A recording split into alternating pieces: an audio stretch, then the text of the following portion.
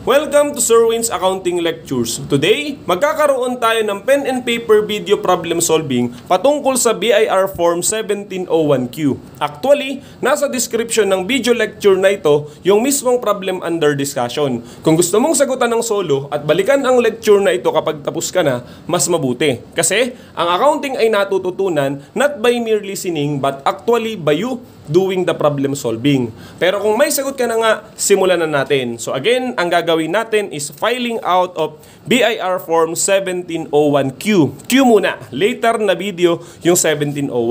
Nandito nga pala yung form na gagamitin natin. Actually, sa klase po natin, mas maganda meron tayong actual application. Hindi yung tinuturo lang kung ano yung nasa sa libro. Kasi in actual practice, pagka nagnegosyo kayo or naging accountant kayo ng isang negosyo at magpa-file kayo ng BIR form, para hindi na kayo takot na magsagot dun sa forms nila. Kaya meron tayong ganitong exercises. Pero sa ngayon, bago tong form, basahin lang muna natin itong problem. Ayan. So we have here, the following information are available for Mr. Roberto Absede Manalo, a Filipino citizen who is married to Sakura Ong Bautista, a Pilipina. Nandito yung kanilang personal information nung lalaki at nung babae. Together with the information of their business, di ba? Ni Mr. Manalo. Yung gagamitin sa 1701Q na basically details yan. I mean, summarize yan nung coming from 1701. So let's say itong sales, 555,000. Nanggaling actually yan, yung net sales, yung 600,000 minus 30,000 and 15,000. Sa ngayon, hindi muna natin mas liliwanagin kasi naman magsasagot naman nga tayo ng form. Uh, mas ma-appreciate niyo yung mga numero. Okay, as we, as we answer this one. Okay, so dito muna tayo. Ano pa tong form na to? Itong 1701Q. That is quarterly income tax return. Q kasi nga quarterly. Meaning, uh, every 3 months, sinasummarize mo yung financial transaction na nangyari ng negosyo. Kasi one quarter is composing of 3 months. Di ba? There are 12 months in a year. So, kung apat na quarter yan, therefore 3 months per quarter. Okay? Sino ang nagsasagot nito? Ang sabi, for individuals. No, tayo yun, may negosyo. Estates and trust. Yung estates, kung sakaling yung namayapa, ay eh, meron pang mga negosyo na kumikita. And then yung trust naman, kung sakaling yung isang individual ay walang kakayahan na magbigay ng consent, katulad ng mga minor, di ba, or incapacitated person. So therefore, naghahanap sila ng somebody na magpa-file sa kanila, ang tawag doon ay trust. By the way, itong estate and trust, meron niyang separate discussion, pero sa ngayon, magpo-focus lang tayo doon sa individual na merong negosyo. Sabi pa dito, paano siya sagutan? Enter all required information in capital letters using black ink. So, bawal ang blue. Di ba? Kung sakaling ano ka, uh, manual mong gagawin. By the way, may electronic filing na po nito. Okay, mark all applicable boxes and X. So, bawal ang check. Ang sabi ng BIR, X. Two copies must be filed with the BIR and one held by the tax filer. So dalawang kopya po ito. Pagpasensyahan nyo na lang kung medyo maliit yung ating kopya. Hindi po natin mapalaki kasi syempre uh, prescribe yung form. Yan. Anyway, so simula na lang po natin. So hindi naman mahirap talagang magsagot ng BIR form kasi may mga number naman niya susundan mo lang. So kung sakaling alam mo yung sagot or dapat sagutan, hindi ka malilito kasi nga naka-number naman siya. Okay? Gawin na lang natin, number one, for the year. So we will assume that this information is for the year 2020 2021. So yun yung ating ano, taxable year. Therefore, isulat po natin dito yung year na yon 2021. Then, meron tayo ditong uh, second question, quarter. Mamimili kong first, second, and third. Since this is a first quarter, lalagyan natin ng X yung first. By the way, pagsasagot natin ng second quarter, ito naman ang lalagyan natin ng X at dun sa third quarter, malamang yung kabilang box naman. Okay? Number 3, amended return. Yes or no? By, anong ibig sabihin ng amended? Meaning, may pagkakataon kasi nag-submit ka ng BIR form. And then naisipan mo parang may gusto pa akong baguhin. Di ba? So, halimbawa, hindi pa sa due date or actually even after due date, naisip mong baguhin. So, anong gagawin mo? Babawiin mo ba yung isinabmit mo na? The answer is no. But rather, magfa-file ka ng BIR form ng pangalawang beses. At sasabihin mo dun sa pangalawang beses, amended return, Yes. Kasi nga, parang papatungan niya. Okay, sususugan niya. Di ba, amended yun yun. Yeah? Sususugan niya yung nauna mong isinabmit.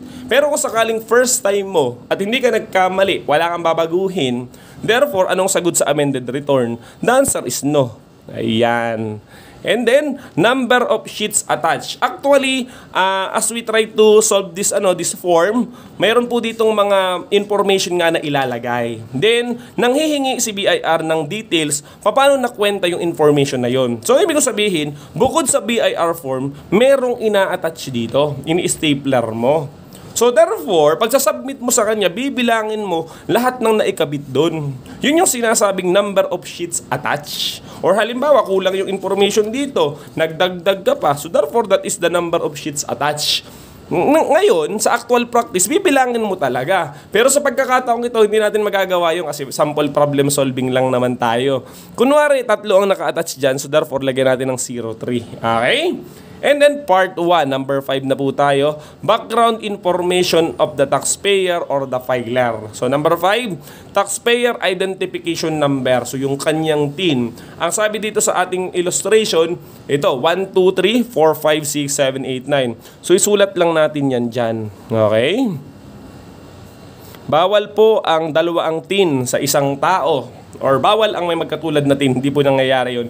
Unique siya. And then itong RDO code, saan ba yung lugar? Kasi nga, di ba may situs tayo na pinag-usapan. Si Mr. Manalo ay taga Calmar Subdivision, Lucena City. Okay? Ang Lucena City ay sakop ng RDO 060. So therefore, ilagay po natin yan. So dapat alam mo kung ano ang RDO code ng inyong lugar. Kung saan ka dapat mag-file. And then taxpayer or filer type, may tatlong pamimilian. Single proprietor, may negosyo po yan. Professional, estate, or tax. Professional kung sakaling ikaw ay, let's say, accountant, meron kang accounting office, di ba? So, sa pagkakataong ito, ano bang negosyo niya? Okay?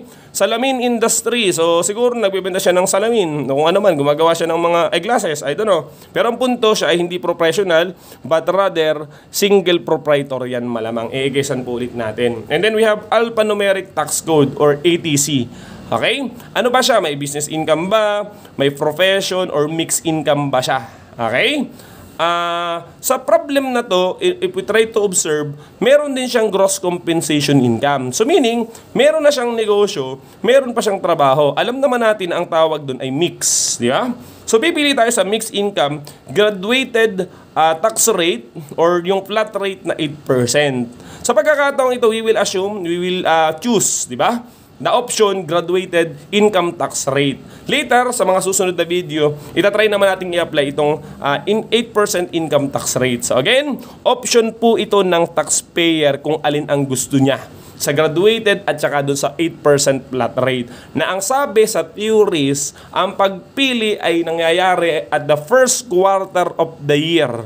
And the pagpili is final and irrevocable. So bawal mo nang baguhin. Kung nakapili ka na ng graduated, tuloy-tuloy na. Yan na talaga ang iyong ah, tax rate. Di ba? And then number 9, taxpayer of filer's name. So magsimula tayo sa last name niya and that is Manalo. Sulat na po natin. Okay? Manalo. First name is Roberto. Roberto. And then the middle name is Absede. Okay, ganyan lang po yung kasimple. Ayan. And then the registered address. Mas maganda ang sabi dito is kompleto. Pero bayaan nyo na lang po yung problem natin na medyo bitin. Kalmar Subdivision. Okay? Subdivision. Ayan, Lucena City.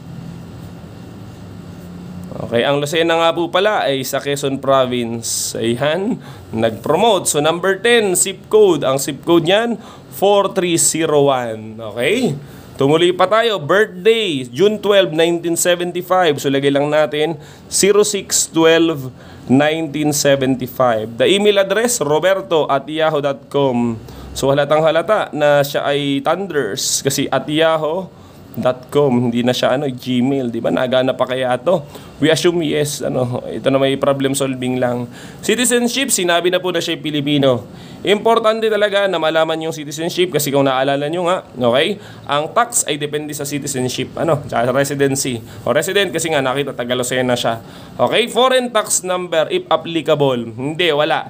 Dito lang siya kumikita sa Pilipinas, so NA. Claiming foreign tax credit, the answer is no. Kasi nga, wala naman siyang tran- transaction sa ibang bansa. Okay, number 16. Tax rate, so choose one for income from business or profession. Since tayo naman ay from uh, profession, I mean for business, pipili tayo ng isa.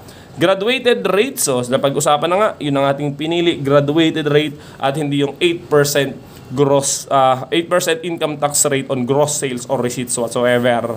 Method of deduction.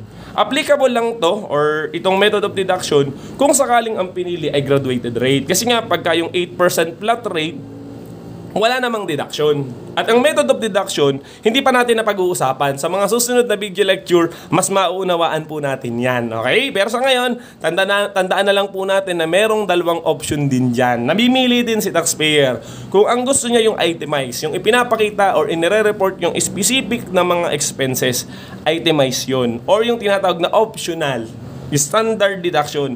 Hindi na kinakailangang ipakita yung actual expenses but rather, ang sabi dito, it is just 40% of gross sales, receipts, or revenues fees. Di ba? So parang may fixed rate na din siya na ang base ay nandirito.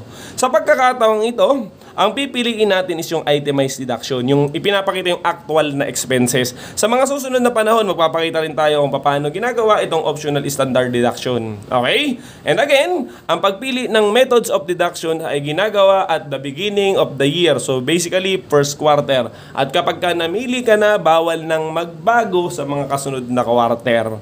Okay, so tumuloy na po tayo sa part 2. Background information of the spouse. So yan, so ilagay na natin yung tin ng kanyang asawa ni Sakura Ong Bautista that is 892 749 007. Ayan, RDO code. So, malamang nandun din naman siya so 060. Okay, ano siya? Single proprietor, professional compensation earner. Actually, wala naman siyang negosyo, pero meron siyang trabaho. So, hindi siya housewife, ano, meron siyang trabaho. Okay, so compensation earner ang iikesa natin dyan. Ang kanyang ATC, compensation income. Ayan, spouse name. So, Bautista. Bautista Sakuraong. Mhm. Ang Sakura nga pala, pag translate sa English ay flower. Ayan. Citizenship, Pilipina daw siya, pero gawin natin Pilipino. Ayan. And then, foreign tax credit, o kahit po Sakura ang pangalan yan, eh, wala din siya niyan. So, claiming for uh, foreign tax credit, the answer is no. O, tax rate, kung sakaling may negosyo, meron ba? Wala, di ba? Compensation income earner siya. Therefore, wala tayong gagawin doon sa number 25. So, tapos na, pa, tapos, tapos na tayo sa pagbibigay ng kanilang personal information. Punta na tayo sa part 3, total tax payable. Ayan. Meron pong sinabi dito, do not in enter centavos. 49 centavo or less drop down 50 or more round up. O, di ba? Nakita niyo na po kung paano siya i-apply. Napaka-specific ng, ng taxation, di ba? So, yun. So, number 26, kasi 25 na tapos, tax due. So, par, from part 5, Schedule 1, items 46 or Schedule 2, item 54. So basically, hindi mo masasagutan itong number 26 kasi nagbibigay siya ng, ng direction. Doon mo daw kukunin sa part 5. So therefore, hanapin po natin yung part 5 na yan. Okay, nandito po yung part 5. Ayan. Computation of tax due. Di ba yun nga yung number 26? At sa sa part 5, meron tayong pamimilian. If graduated rate fill in items 36 to 46. So basically 36 to 46 ito 'yun. And that is yung schedule 1 for graduated income tax rate. If 8% fill in items 47 to 54. So ito namang schedule to, 47 to 54. Kasi kung naaalala nyo, di ba namili tayo kung graduated or flat rate? Dahil ang pinili natin ay graduated, therefore itong schedule 2, wala tayong gagawin dyan. Okay? Kasi nga, pipili lang. Ngayon, number 36, ang sabi, sales, revenues, receipts, fees. Net of sales returns, allowances, and discounts. Sa madaling salita, this is net sales sa accounting. Okay? Kung titingnan natin yung ating problem, ang sabi sa first quarter, that is 555,000 yung sales natin. Na ang sabi nga natin kanina, meron actually yung detalye. Okay? Nandito po yun. Sinamarize ko lang. Dun sa information para hindi na tayo mahirapan. Ang gross sales is 600,000. Meron siyang sales return and allowances na 30,000 and sales discount of 15,000. So therefore, that is 555,000. Okay? So yun. So therefore, ilagay na po natin siya dito. 555,000 sa taxpayer or filer. 555,000. Ngayon, we have here cost of sales. Applicable only if availing itemized deduction. Di ba ito naman ang pinili natin? Therefore, meron tayong isasagot dyan. Okay? By the way, itong cost of sales, kwenta na din po natin. Ayan, galing din siya dito sa likod. O, di ba, ang sa accounting, ang cost of sales is beginning inventory plus purchases. Okay? Then minus the returns and allowances 15,000 and the discount of 10,000 and then makukuha natin yung tigas at maminusan pa natin ang ending inventory para makwenta nga yung cost of sales and that is 288,000. Okay? So lagay natin dito 288,000. And then we have here gross income from operation. Actually, hindi naman po mahirap na magsagot ng BIR form. Kasi dun mismo merong instruction. Ang sabi dito, item 36 less item 37. So therefore, itong 555,000, ayan, maminus natin dun sa 288,000. So we will get now this gross income from operation, 267,000. Okay? And then less, 'di ba? Allowable deductions, total allowable itemized deductions or optional standard deduction. Eh alin ang pinili natin, 'di ba? Isa lang dapat. So hindi natin pinili yung OSD, so therefore dito tayo sa allowable.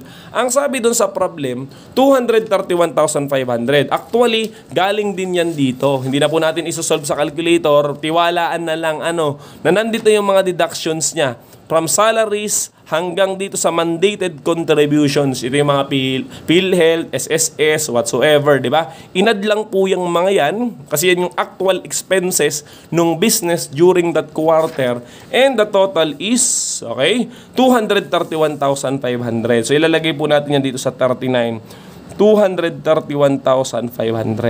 Okay, ganun lang po kasimple. O, tumuloy na tayo. Number 41, net income or loss this quarter. Okay? If itemized, 38 less 39. So 267 minus 231,500. If OSD, 38 minus 40. Wala naman tayong sagot sa 40, di ba? So dun tayo sa itemized nga. So 267,000 minus 231,500. So we will get 35,500. So 35,500. So ilagay po natin yan dito. 35,500. Okay? And then add taxable income or loss from previous quarter. Since we are on first quarter, malamang walang previous kasi first nga eh. O, so wala yan.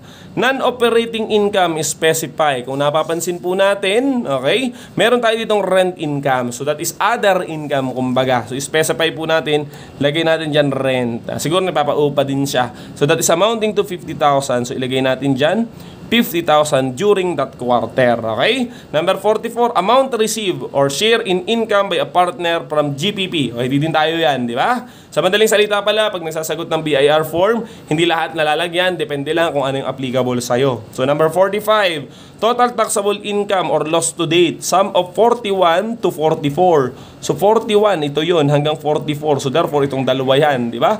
35,500 plus 50,000 So we will get 85,500. So yan, sulat na po natin dito. 85,500. Okay? Number 46, tax due. Item 45 times applicable tax rate based on the tax table below. O, yan o. May tax table na po dito sa ilalim. So, 85,500 yung ating magiging basis, di ba? So, nagkataon yung 85,500 that is here. Not over 250,000. So, therefore, the tax due is what? 0%. Okay? So, magkano ang ating tax due? Di zero. O, yan. Zero. Lagyan natin zero. Yan, parang ganun. O, wala, pwede pong walang ilagay or dash. Di ba? Parang ganun po yan. Okay, so ngayon, ang sabi to part 3, item 26. So pupunta tayo ngayon dito sa part 3, item number 26. Ang ating pong sagot dyan ay 0. Wala naman kasi eh. Wala, hindi umabot ng 250,000. Okay? Wala po tayo sa schedule 2. Punta tayo dun sa schedule 3. Tax credit or payments. Actually, hindi pa rin po ito na pag-uusapan sa ating mga theoretical lecture. Bibigyan lang natin ng kaunting uh, parang overview kung ano po yan. may mga pagkakataon na ina-allowed ng BIR na magkaroon ka ng deduction doon sa iyong tax due. Okay? Kasi halimbawa, nagkaroon ng withholding doon sa isang transaction mo nung nagninegosyo ka. May mga ganun po, sa paglalim natin, mas mauunawaan nyo yun. Okay? So, isa-isahin natin para po maunawaan itong mga tax credits or payments. Babasahin lang natin. Prior years excess credits. May pagkakataon halimbawa, uh, may credits ka last year, hindi mo naubos. So therefore, pwede mong gamitin this year. Ayan. So creditable tax withheld for the previous quarters. Okay? Eh dahil tayo first quarter, wala naman tayong creditable tax withheld, di ba? Ito na ngayon, yung creditable tax withheld na yon. Actually, nanggagaling siya dun sa BIR Form 2307. Okay? So, sa pagkakataong ito, meron. Meron po form yan, no? 4,780. Maaaring nagkaroon ka ng kaltas or we need help. Depende kung sino yung katransaksyon mo. Hindi na lang po basta natin liliwanagin ngayon kasi nga may dis- discussion pa tayo patungkol dyan. So 4,780 ang ilalagay natin dyan kasi nga meron. Okay, by the way, uh, ang pwedeng i-credit dito na tax credit is yung related din sa income, di ba? Income tax. Kasi may mga sitwasyon, meron din pong ano, tax credit ang let's say VAT transactions or VAT. Dahil sa VAT nagkaroon ng tax credits, dahil income tax ang ating sinasagutan, ang ating fina-file, dapat yung tax credit ay related din dun sa income tax. Okay? Kaya nga dito 2307. Ayan, so tax paid in return previously filed. If this is an amended return, pwede kasing nagbayad ka na dati nung nag-amend ka. Okay? So, ima-minus mo kasi bagong computation eh. Di ba? Para malaman lang yung kulang or yung sobra. Eh, sa pagkakataong ito, hindi naman nga tayo amended return. So, wala ding ilalagay dyan. Foreign tax credit, nagsagot tayo dyan ng no other. So, wala yan. So, number 62, sum of item 55 to 61. So, 55 to 61, nag-iisa yan. So, therefore, siya alone, we just bring it down. Okay? 4, 780. Ang sabi dito to part 3, item number 27. So, pupunta lang tayo dito, number 27. So, magkano po yun? 4,780. 4,780. Ililes, di ba? Sabi dito, number 28. Okay? Tax payable or overpayment. 26 minus 27. Okay? So, therefore, 0 minus 4780. Kayang-kaya ko na po yan. 4780 rin yan. Sa pagkakataon ito, lalagyan natin ng negative. Kasi nga, wala naman tayong tax due dun sa first quarter. Meron lang tayong credits. Di ba? Actually, sabi pa dito sa number 28, galing daw yan sa part 5. Okay, item number 63. Di ba yung part 5, ito rin naman yun, yung number 63. Sa madaling salita, meron din tayong solution dyan. 46 or 54 less 62. Ito yung 62, ito yung 46 or 54. So therefore, 0 minus 4780, same pa din yung magiging answer natin. Magiging negative pa din po yan. Okay? Kasi meron tayong credit eh. Number 29, total penalties. So, may penalties pa tayo. Saan daw galing pala yun? So, uh, from part 5, schedule 4, item 67. So, dito siya, sa penalties. Okay? So, part 4, di ba? Ito po, ang klase ng penalties na meron ay surcharge, interest, and compromise to get the total penalties, okay? Hindi pa din natin siya napag-uusapan, yung kanyang theoretical lecture, bibigyan lang po natin ng counting overview. Kung sakali na late kang nag-file, kasi may, may ano po yan, may due date. Let's say yung first quarter, May 15. So, let's say, ano, nalampasan ka, okay? Or let's say, wrong venue ka, dapat sa Lucena ka magpa-file, sa ibang lugar ka nag-file. Nag-file ka, let's say, sa Kabanatuan, ang layo. So, therefore, wrong venue, late filing, okay? Maraming mga dahilan, nandaya ka, nahuli ka, so therefore maaaring magkaroon ka ng penalties. At tatlo yung composition yun. Yung una yung surcharge, yan yung basic ano, yan yung totoong penalties kasi late ka, kasi mali ang finailan mo, di ba? Na normally 25%, okay? Nung ano nung nung iyong tax due, something like that. Okay? Kasi totoo, na, na late filing ka eh, di ba? Wrong filing, wrong venue ka eh. Ito namang interest, kaya kasama siya sa penalty. Ang logic naman yan, ay dahil pera na daw yan ng gobyerno nung May 15 pa lang. Pero dahil hindi ka kaagad nagbayad, ginamit mo yung pera namin, di ba? O dapat may interest yun, time value of money. Okay? At ito naman compromise since pwede kang makulong sa hindi pagbabayad ng tax or maling pagbabayad ng tax. Therefore, para maiwasan yung korte, kasi nga, di ba, pwede kang makulong, okay? Para maiwasan yung mga yun, aregluhan na lang. Bigay, bayad ka na lang ng kompromiso. Okay? Kaya kasama rin siya dito. By the way, meron din po tayong discussion nga doon. Overview pa rin yung ginagawa natin. Ang tanong, meron bang penalty itong si, ano, si Roberto Manalo? Ang sagot, sabi dito sa problem, the income tax returns will filed, were filed on time. So, wala pong penalty tayo. Okay? So therefore, anong ilalagay natin dito? Wala. Next is total amount payable, 29 and 27. Pagpaplasin po natin sum. So dahil 0 yung isa, lagay pa rin natin dito, 4780 naka-negative. Okay, pwede rin naman na par- from part 5, item 68. So alin po yun? So ito yung number 68. 63, which is this one, minus 67. Okay, kita ba? Ay, hindi pala. So, ulit. So, 63, ito, minus 67. Ang 67 yung penalty. Since wala naman penalties, ang ating total tax payable po ay 4780 pa rin. So, yan yun. So, iisa sila. And then number 31, so aggregate amount payable, sum of 30A and 30B. Mapapansin natin dito sa tax ah, sa sa form, merong column si taxpayer, meron ding column si spouse. Okay? Actually, kung sakaling si spouse ay merong negosyo, magsasagot din siya ng kanya, di ba? Tapos sa bandang huli, ito total natin. Ipakita lang po natin yung guidelines sa pagsasagot ng 1701. Medyo maliit lang po ito, binabasa ko naman. So, nandito po yun. So, married individual shall file a return for the taxable year to include the income of both spouses, computing separately their individual income tax based on their respective total taxable income. So, kanya-kanya talaga. Okay? Where it is impracticable for the spouses to file one return, each spouse may file a separate return of income. So pwede namang magkahiwalay kung sakaling impractical nga daw na gawin yun. If any income cannot be definitely attributed to or identified as income exclusively earned or realized by either of the spouses, the same shall be divided equally between the spouses for the purposes of determining the respective taxable income. So meaning paano kung halimbawa na hindi ma-identify, hindi malaman kung sino yung kumita, 'di ba? Kung kaninong transaction 'yun. So therefore dahil sila naman ay mag-asawa, divided by two equally, 'di ba? Wala mang mag-asawa dalawa 'yan, 'di ba? Normally dalawa. Okay, pag Muslim, iba, 'di ba? So ang punto lang natin, okay, di-divide po kung sino talaga yung yung kumita. So divided by two normally sa Pilipinas. Ayan. Okay, so yun. So dahil wala po si spouse, dahil siya naman ay compensation income earner, therefore plus zero. So yun pa rin ang lalabas po dito. Negative 4780. Sir, okay lang bang maging negative na pinapile? The answer is yes. May babayaran ka ba?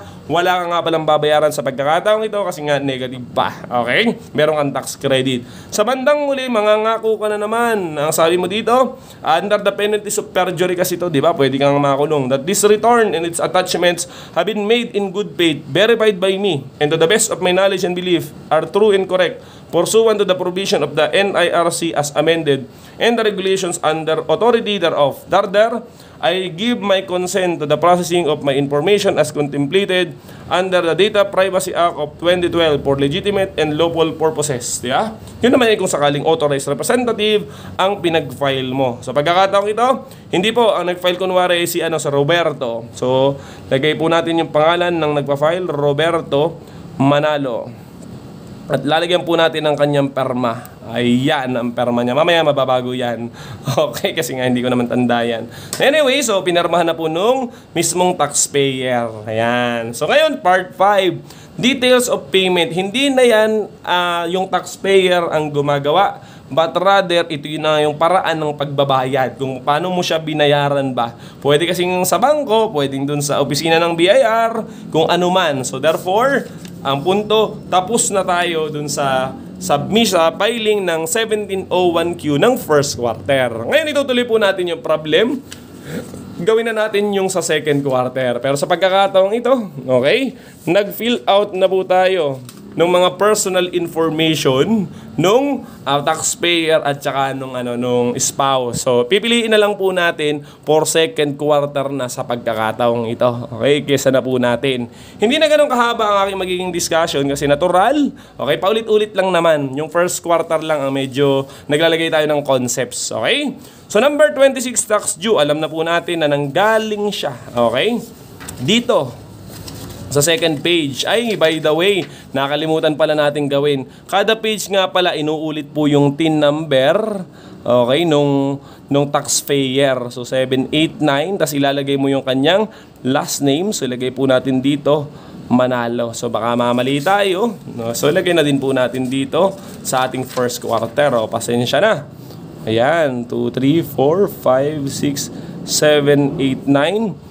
Manalo. Nadala nung explanation kasi doon daw agad sa, ano, eh, sa schedule 1. So by the way, ganun po ulit. Mhm.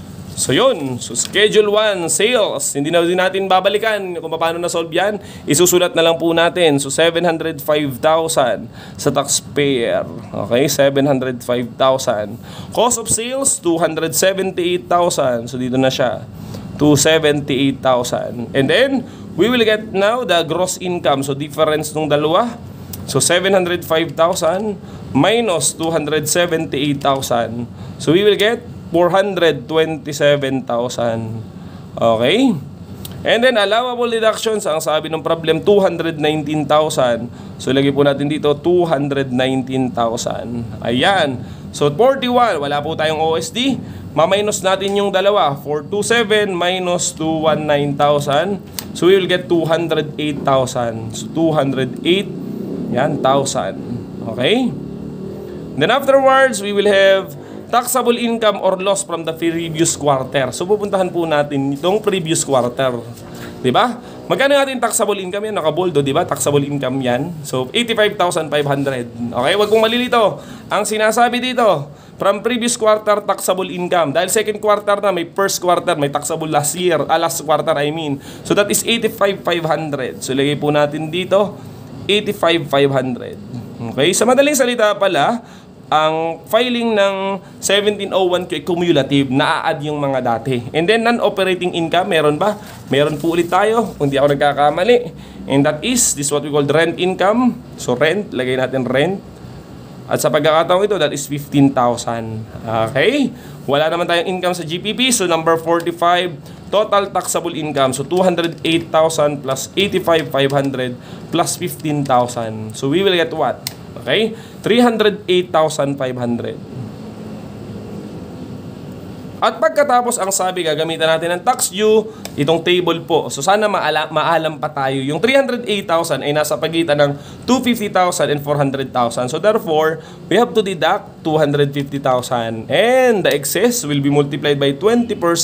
So times 0.2, 11,700. That will be our tax due, 11,700. By the way, nagkaroon po ata ako ng error dun sa huli kong discussion. Hindi pala 20% yung ano, yung yung, ay hindi, tama pala. Okay, 20% nga ang kaunahan na tax rate na, okay? So, ito pa lang nakikita ko na 15% kapag ka 2023 pa.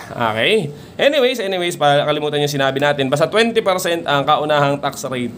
Okay? Yan, sinasabi mo na, na parang ano, uh, pwede namang yung 8%, di ba? Uh, anyways, anyways, wala po tayo schedule to kasi hindi naman natin pinili yung 8% na rate na nga. Okay?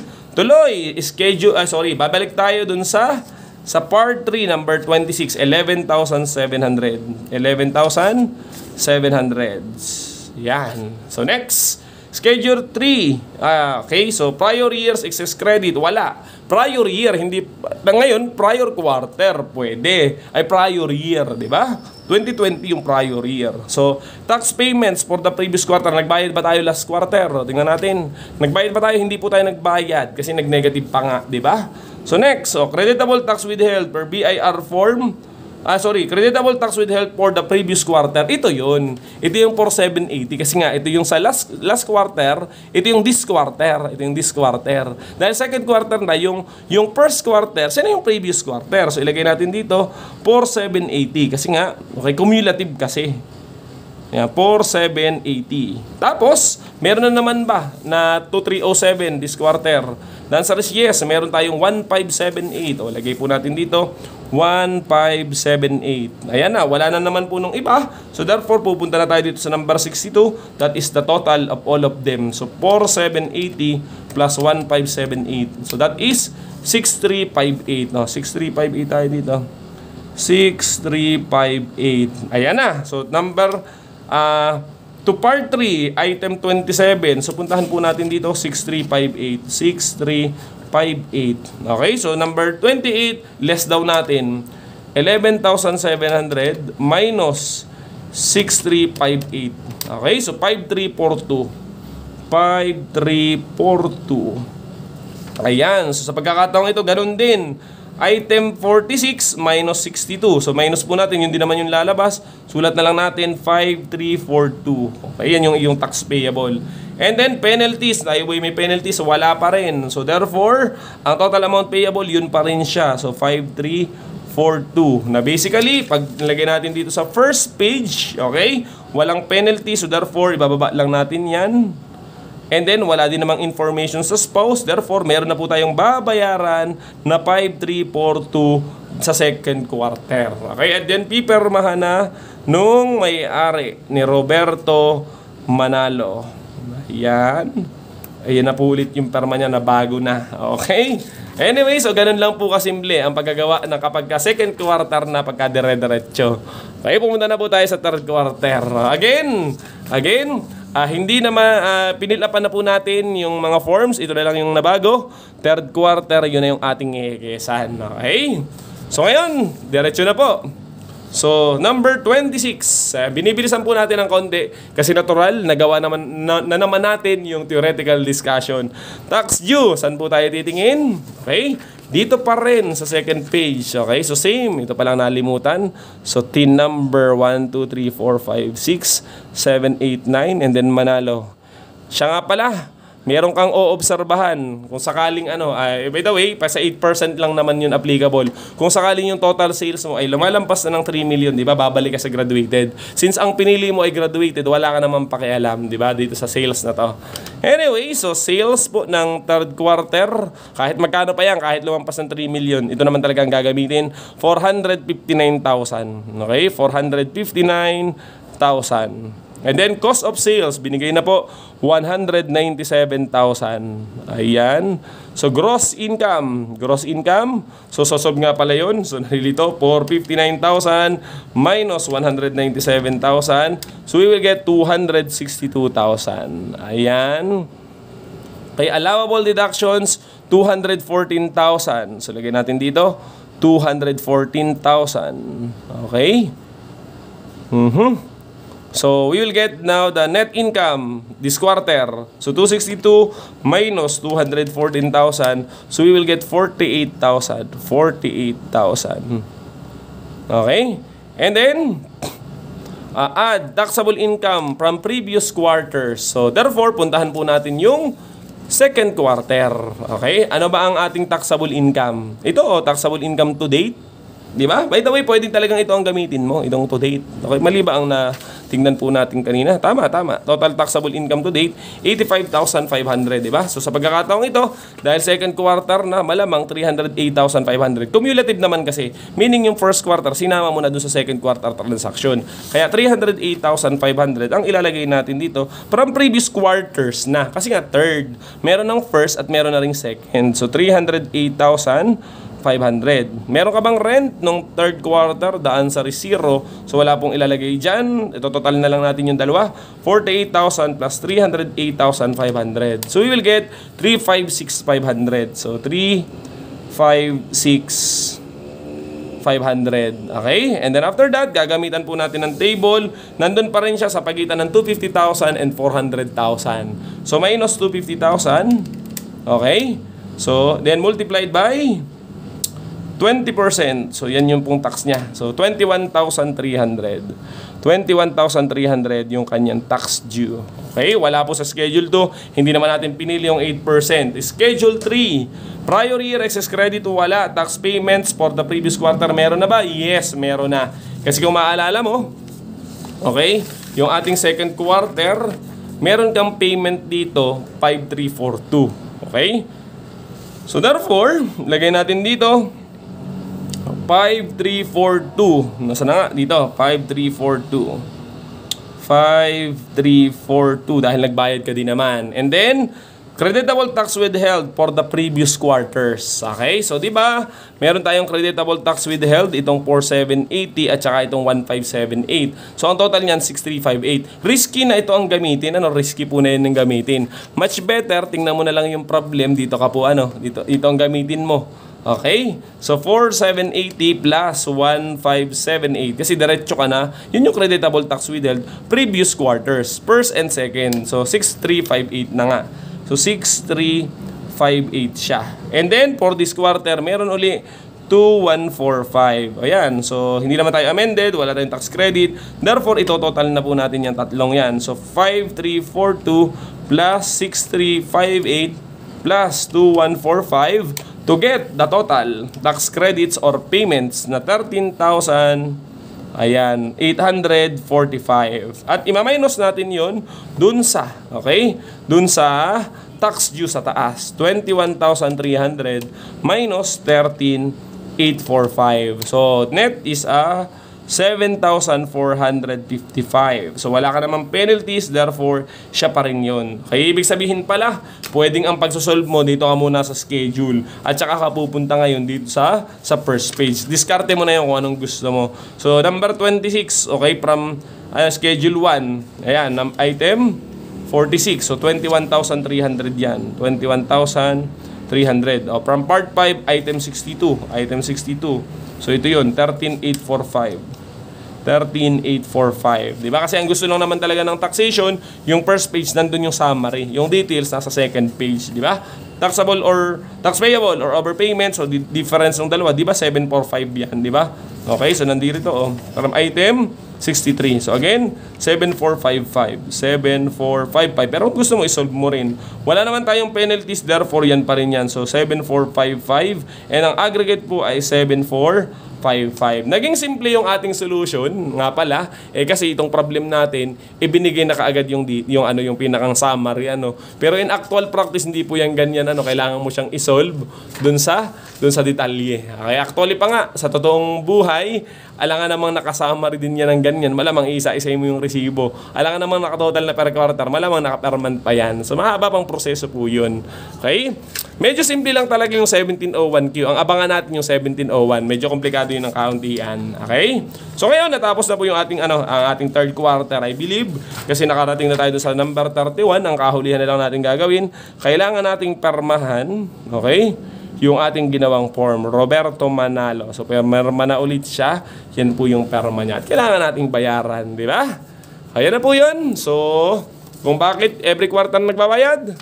Meron po tayong discussion dun, mga theoretical lecture. Basta sa ngayon, ang itinuturo po natin ay paano magsagot ng BIR Forms 1701Q. Sana po ay meron kayong natutunan. So yun lamang at maraming salamat.